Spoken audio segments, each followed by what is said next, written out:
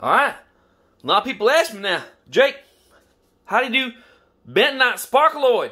Well, Sparkolloid, you know, you just dump the whole thing in, boiling water. Boil some water, get you some water boiling, dump the whole thing in, stir it up, okay? Bentonite's a little different. Okay, gotta get me a spoon real quick, right quick, huh? Hold on. Just hold the phone now. Alright? Here goes bentonite. You dump a little bit in. Just dump a little in first, okay? Pretend this is bentonite, this is sparkle right now. Pretend it's bentonite, okay? You dump a little bit in, and then you stir. You stir, stir, stir, stir, stir, stir, stir. Dump a little bit more bentonite in, and then you stir, stir, stir, stir, stir, stir, stir. Okay? Dump a little more. You need to do this at least five times. You do not dump all the bentonite in all at once, or it will clump up. It'll clump up and you'll never get it. Or you'll be cursing me. Bentonite. Bentonite's a little different than Sparkolloid, okay? It's not the same thing. Sparkolloid's like diatomaceous earth or something. Bentonite's like uh, clay. It's like uh, a type of clay.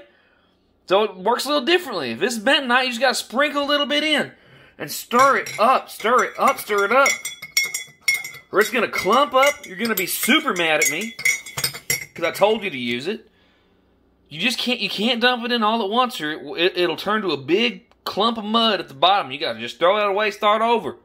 Trust me. I use bentanoid, bentanoid. I use bentonite Sparkolloid all the time, man.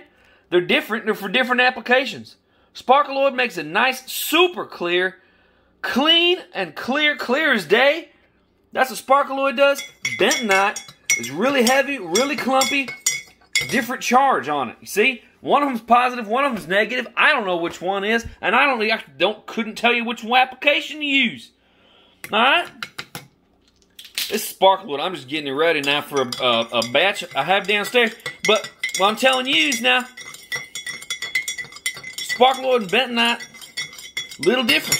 Sparkolloid, you can throw the whole thing in, just give it a stir, wait, you know, seven to ten minutes until it's not boiling, and then just dump her in. Bentonite, you got to add a little bit in, stir, little bit in, stir, little bit in, stir. Or it's going to be a big old clump. But once it's done, same thing. Wait until five, you know, um, seven, ten minutes or so till it's not so boiling hot. Ow, you know what I'm saying? Dump it all in, and uh, you know, wait 24 to 48 hours, maybe even up to 72, depending on big problems you got. What I find is bentonite. If you got a whole bunch of floof, it helps compact that down at the bottom. Okay, get you your maximum yield. Okay.